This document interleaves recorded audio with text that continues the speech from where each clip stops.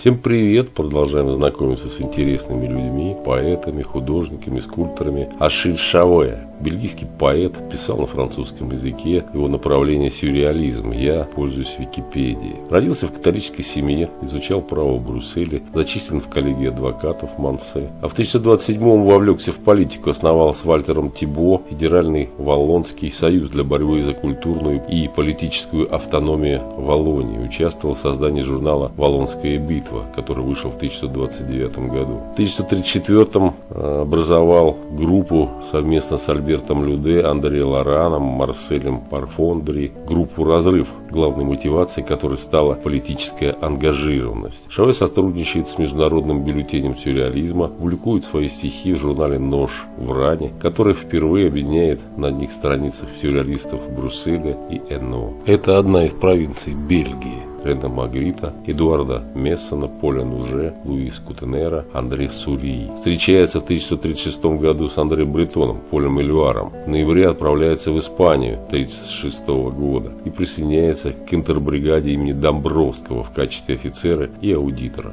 Возвращается в Бельгию в 1937 году. Основывает еще одну группу, сюрреалистическую группу ВНО. В нее вошли Фернанд Дюмон, Марсель Лефранк, Арман Симон, Луи Ван де Пижель. Как член коммунистического сопротивления поэт разыскивается гестап во время Второй мировой войны и уходит в подполье в 1941 году. В 1946 распускает группу и основывает объединение «Высокая ночь» в 1947. Группа провозглашала отказ от догматизма, враждебность по отношению к конформизму в искусстве и ее веру в авангард. До конца жизни сотрудничает с журналами бельгийских сюрреалистов и опубликовал около 30 сборников стихов.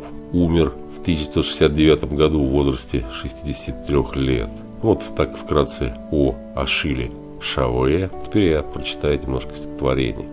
Нож терпения. Перевод с французского Сергеева.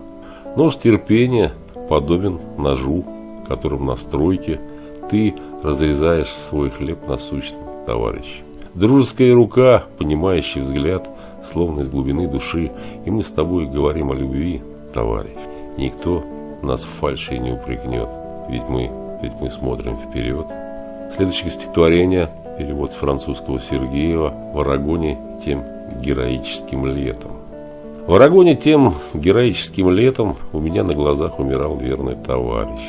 Старое солнце отбрасывало мою тень на землю чистых людей. Предо мной воскресал миф об Антее, и я смотрел на спасительницу землю. Недвижный, ушедший в думы, я пронзал свое сердце золотым клинком действительности. Ну и вот в заключении стихотворения «Я все так же подобен» перевод с французского Львова. Я все так же подобен стреле краснокожего из моего детства. А что до моей визитной карточки, так, так я давным-давно потерял ее в бескрайнем поле ржи. Ну вот так вкратце о Ашиле Шаве, бельгийском поэте, который писал на французском языке, представители сюрреализма. Пока-пока, до свидания, всего хорошего, узнали что-то новое.